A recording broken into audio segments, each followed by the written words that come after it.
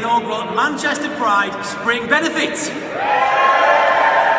What about this, ladies and gentlemen? Check out this venue. It's alright, isn't it?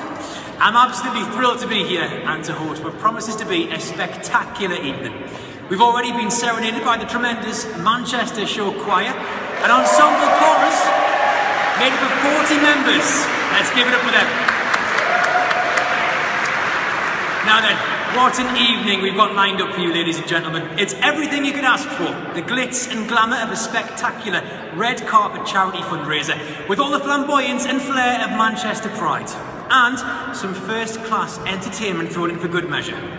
We've got a star-studded programme for you all this evening with live performances from four handsome lads who are the newest swing kings in town. The superb Jack Pack are here. The boys are about to burst onto the music scene with their debut single and a follow-up album to boot.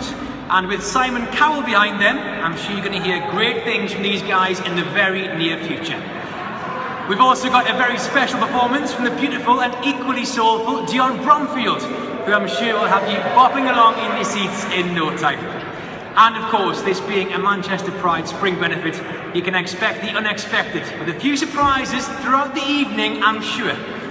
As this is a benefit, it's important to remember that we're here to raise some serious money for the Manchester Pride Community Fund. To tell you a little more about this, I'd like to welcome on stage the Chief Executive of Manchester Pride, Mark Fletcher.